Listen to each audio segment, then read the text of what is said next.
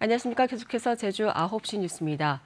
20대 국회에 벽을 넘지 못하고 폐기됐던 4.3 특별법 개정안이 21대 국회에서도 발의됐지만 처리에 속도를 내지 못하고 있습니다. 내일 국회 상임위 소위에서 심사를 앞두고 있는데요. 불법 군사재판 무효화에 대한 정부 측의 부정적인 입장이 여전하고 여야도 핵심 쟁점에 대한 입장차를 좁히지 못하고 있습니다. 신익환 기자의 보도입니다. 이번 국회 정기회 행정안전위원회 법안심사소위원회에 상정된 법안은 모두 63건.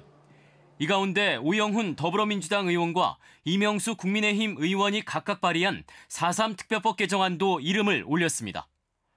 여야는 우선적으로 지방자치법 개정안 등 비쟁점 법안부터 처리하기로 합의한 상태입니다.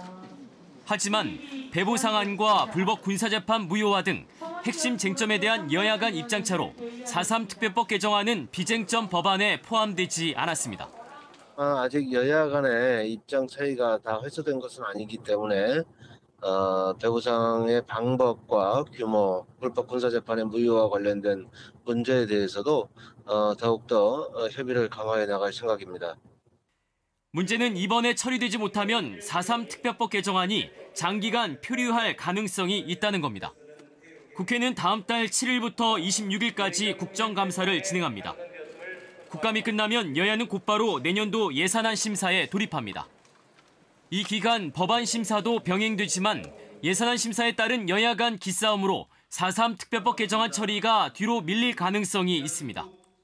발의하신 분, 행안위 소위원님, 법사위원회 소위원님 이분들을 통해서 좀 협조를 구하려고 준비를 하고 있습니다. 작년처럼 야당 국회의원을 만나고 부탁도 해주십사는 부탁을 드리려고 마음의 준비를 하고 있습니다.